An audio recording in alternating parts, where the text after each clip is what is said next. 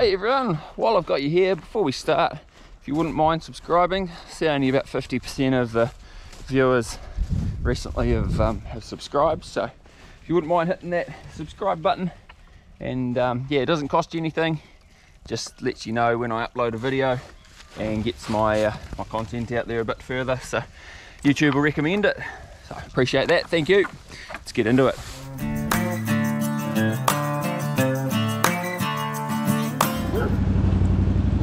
Wet. Been raining all day, well, all weekend really, so Sunday night. But um, these crossings are doing what they're supposed to do, which is good.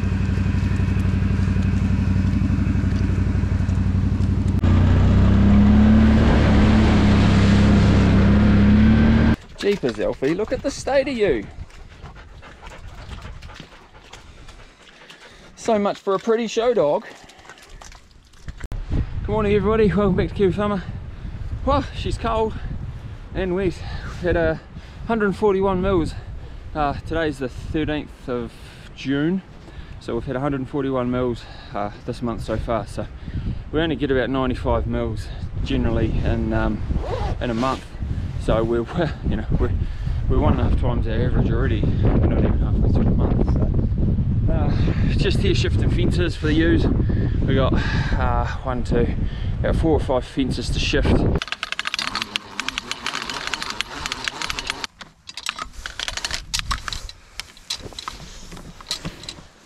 So one of the suggestions from you guys was uh, that you were running two wires on the same reel. So I've tried that. Uh, it's the first time I've wound it out or wound it back in. So um, yeah, seems to work quite well. Saves me having a, another reel to make a fourth wire. So we'll go and uh, put this fence back up down here at the loose block. And um, yeah, seems pretty good. And now uh, we've got a prep for the hoggets to come down here and go on to this kale and plantain. So power load of feed here, um, this plantain, and then yeah, your good old kale, just like that. So uh, I got the kale cutter on the motorbike, run the motorbike down here, and uh, we're just going to run some lines through here, and then this will be the runoff paddock. So they'll let them on transition, but yeah, we shouldn't really have any issues with transition just because the mix of the amount of grass and and plantain in amongst this kale and then they'll have a hay feeder ad lib hay as well. So we'll uh, jump on the bike and go and mow some lines.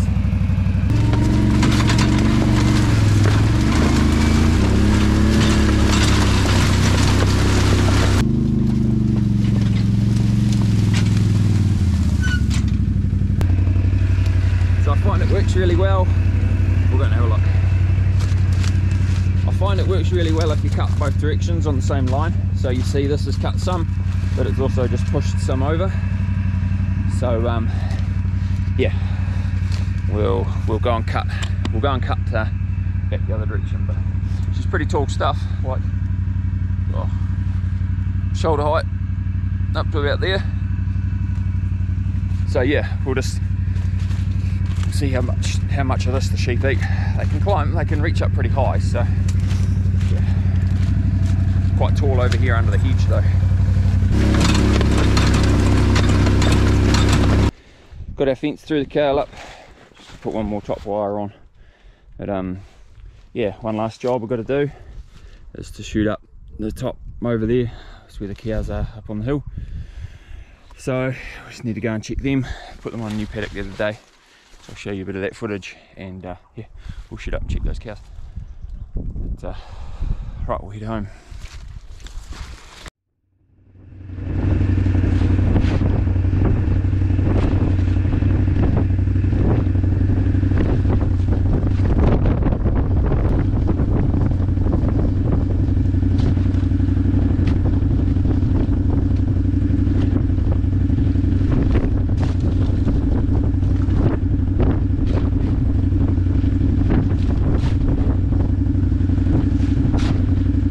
So just up here opening the gate, these cows, these Angus cows to come into this block to chew out. Well we don't have water in here yet so we've just got to leave that gate open. Let them wander back through there. But heaps of tucker in here, plenty of shelter, so that'll be good.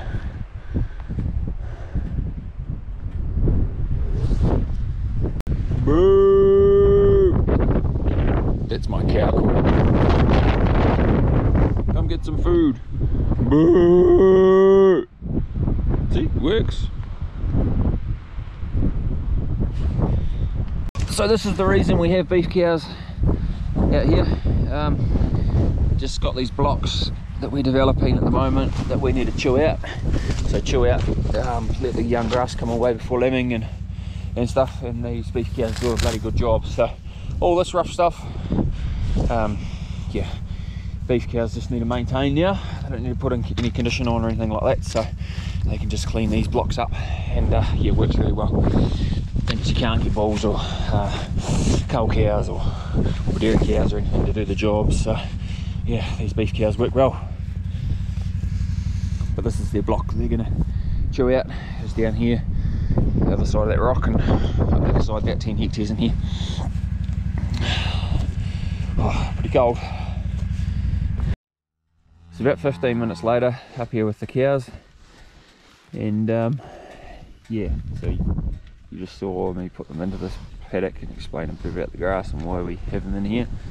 But um, they are pretty good. Got lots and lots of tucker still left in here. And you go, they're looking good. Looking real good. So the only thing is there's no water in here really. Um, so yeah, just don't wanna, probably won't push them too hard in here. Oh, it's pretty cold. Um, yeah, and then that fence down the bottom is still buggered from when we had a digger in here years ago, mulching these um, old fence lines out here. So, but I just haven't had a chance to get down there and fix it. Just access is pretty hard, and and then yeah, so now we've got uh, we can actually hold them in this paddock. We'll get down there and fix it sometime. These girls are happy, so we'll leave them to it.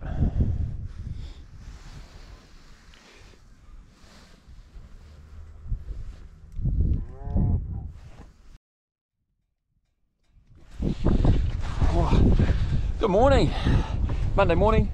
So it's pretty cold. It's about five degrees and wet. Another eight mils of rain last night. They were uh, predicting snow down to 500 meters, so that's uh, oh, about the cloud line just there. So, oh, g'day Bailey, young girl, ready for some food. So we'll go and shift our, shift our fences for the day, and um, yeah, figure out what else to do. Need to get these hoggets in, they're heading to the lease block tomorrow, so anything that we need to do with them, I've got to do today. So yeah, we're going to shift some fences, shift this, something like that there.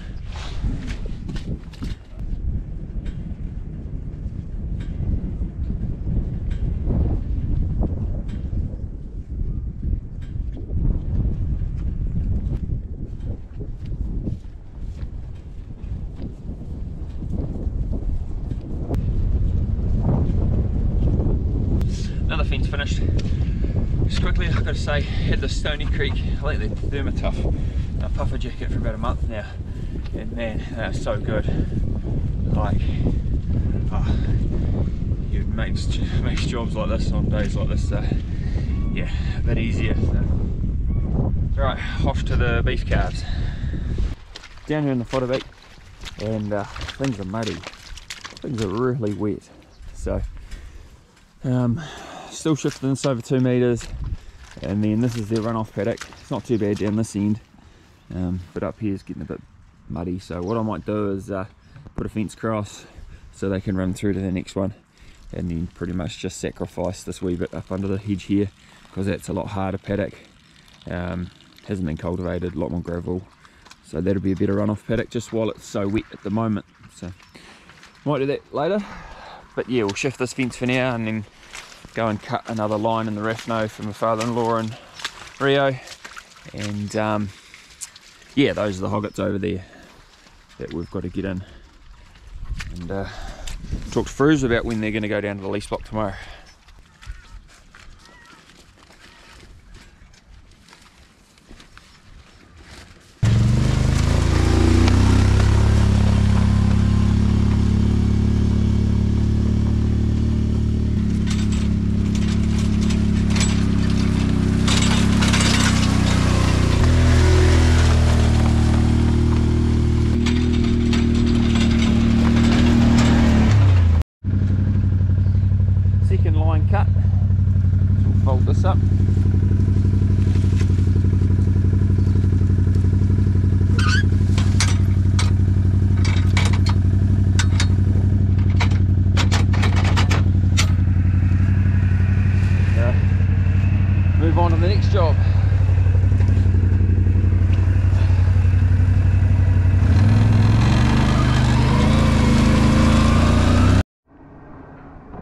Just got the fence put up here.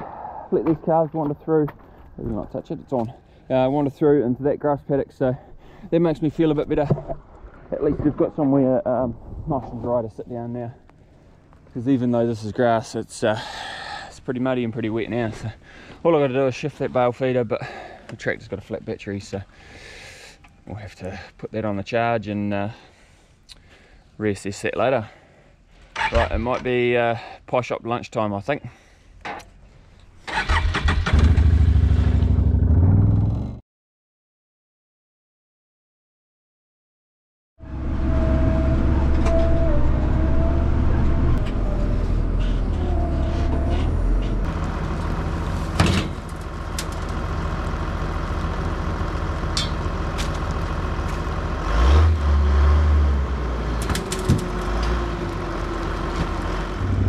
That's green.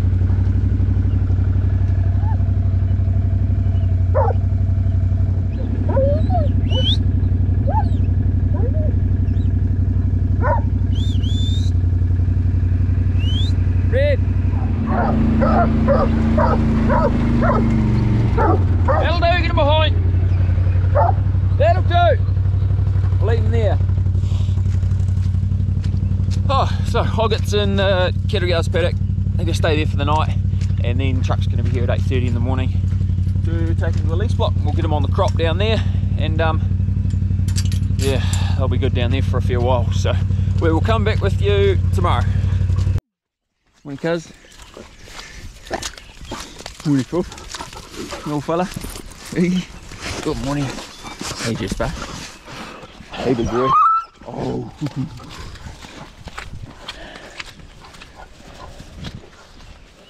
Morning, everybody. It's um, a bit of a frost this morning, so it's, just gonna go and grab these. Just gonna go and grab these hoggets in. Ready for the truck. Let them empty out a wee bit. And uh, yeah, Mark from Freeze will be here at 8:30. And I'm behind. Blue.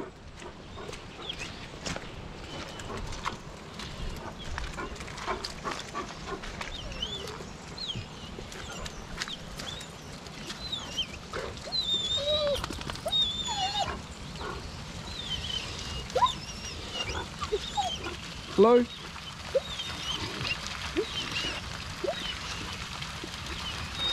Steady.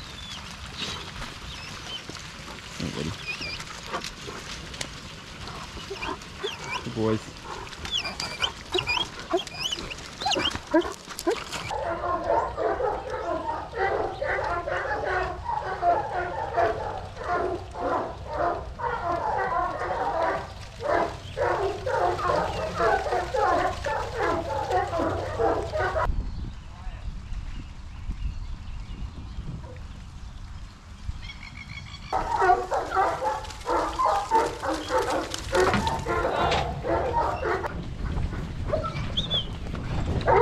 Will I go?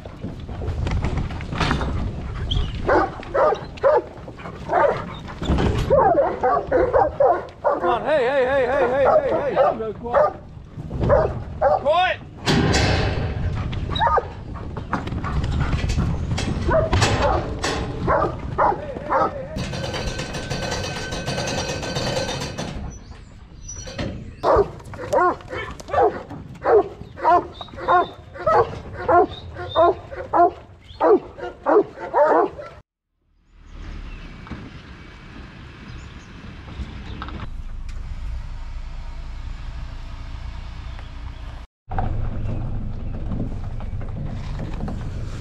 Pretty good.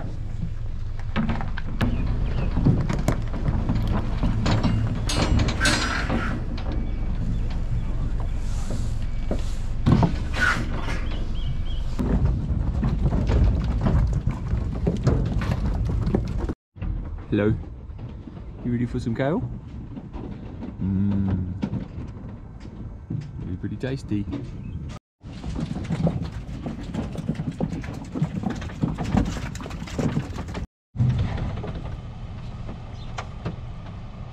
Finished. Now gonna head away for another job, next job, and uh, we'll go shift some fences and then cross these across the road.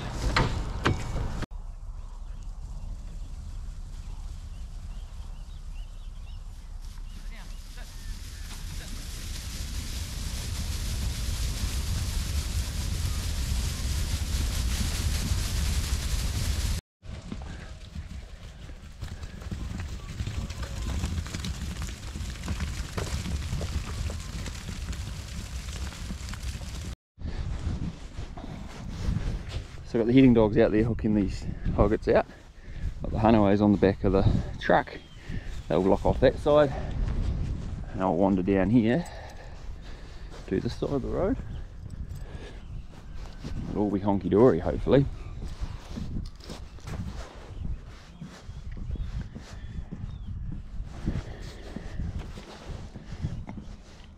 Rah. Rah. Blue.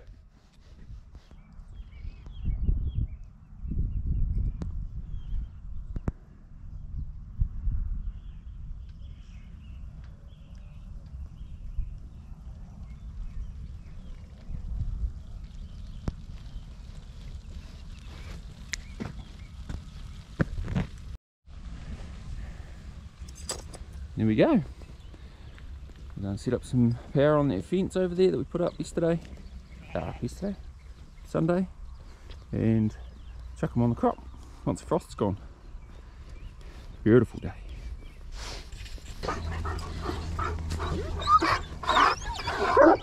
Quiet, blue, blue, quiet Jasper. So we've got the hoggets just going onto the crop now. As you can see, pretty tall.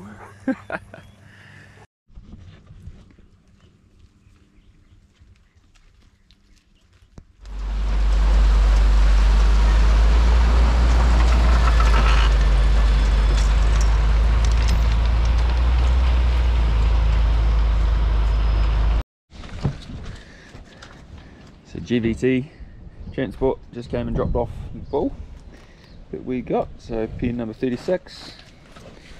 This fella.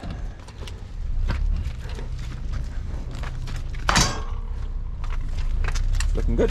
Seems to have travelled well. We'll go and find him a friend. Um, yeah. They can get to know each other and then we will uh, join him in with the other bulls.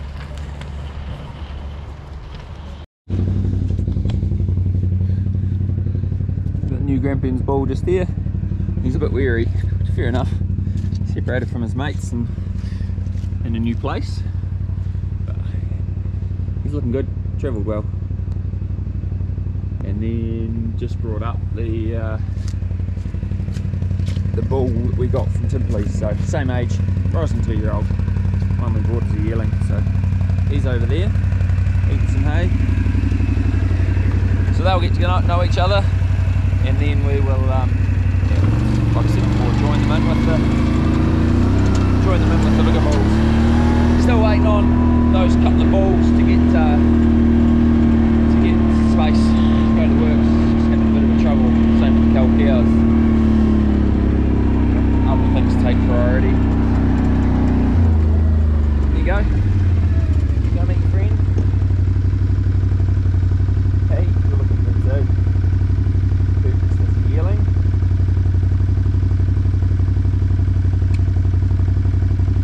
So we'll get along like a house on fire. Look at me. Look at me. Look at me. Oi. So this is the last bull that we brought from Grampians so, a couple of years ago. He's a nice looking fella. Aren't ya? Grown into a nice bull. Two boys.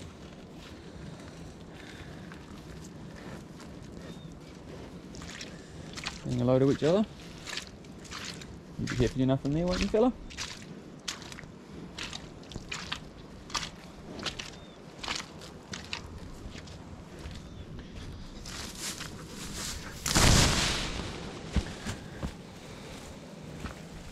Oh, it's good to get that ball here and uh, yeah, settle down. It's nice quiet, so which is a bonus. So we'll leave this video here. Uh, one thing I've been mentioning to say is, yeah, if you're on Instagram, check out my Instagram account. Just post a wee bit of stuff, put a few more photos and little reels and bits and pieces. So I'll link that down below. Thanks very much for watching, and we will see you in the next one. Alfie. Good boy.